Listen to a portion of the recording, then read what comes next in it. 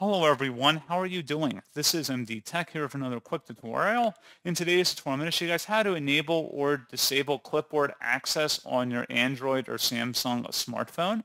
So this should hopefully be a pretty straightforward process here guys. And without further ado, let's go ahead and jump right into it. So all you have to do is swipe up on the home screen and select the setting gear button. And then you want to scroll down and select the security and privacy tile. And then scroll down again underneath privacy and select privacy controls. And then scroll down underneath controls where it says show clipboard access, show a message when apps access text, images, or other content you've copied. If you want to enable this, have it toggle to the right. Otherwise, you can disable it by clicking inside the oval one time until it's grayed out like you see on my screen. And that's pretty much it. So as always, thank you guys for watching this brief tutorial. I do hope I was able to help you out, and I do look forward to catching you all in the next tutorial. Goodbye.